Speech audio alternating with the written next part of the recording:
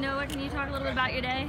Yeah, really good day uh, for the whole Jefferson Pitts racing team, the seven team. Uh, I don't feel like we have the dominant car out there. We definitely had speed and uh, qualified fourth. I got a little discouraged, but my crew chief, Jared Pitts, he, he told me we're still in this thing, uh, nothing to hang our heads about. So qualified fourth and uh, was just riding around. Uh, long race, 110 miles on one set of tires. So uh, I was just staying patient and just riding around saving my stuff. And about 20, 20 laps down, um, started picking my way up. Uh, the nine had a tire issue and passed him, worked my way into second, and then uh, was running down the 16. He made a mistake in turn one and uh, pretty much handed over the lead to us.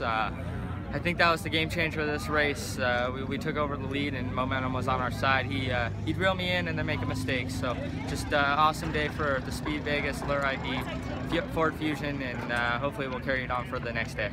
And uh, real quick, how does it feel to win your first?